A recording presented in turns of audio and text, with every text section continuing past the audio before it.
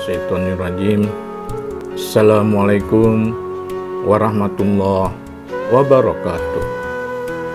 Saudaraku yang seiman, yang dirahmati Allah Subhanahu wa Ta'ala, banyak manusia yang lalai.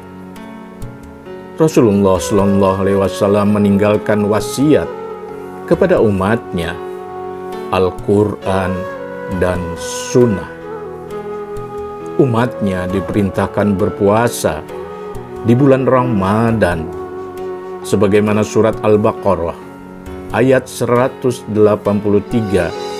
dan 185.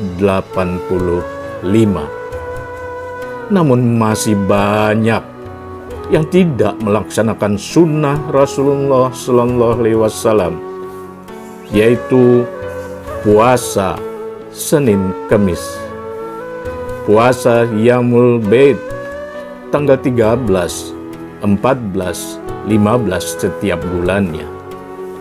Maka suatu kewajiban bagi umatnya melaksanakan sunnah wasiat Rasulullah Sallallahu Alaihi Wasallam. Sebagaimana surat Al-Baqarah ayat 180.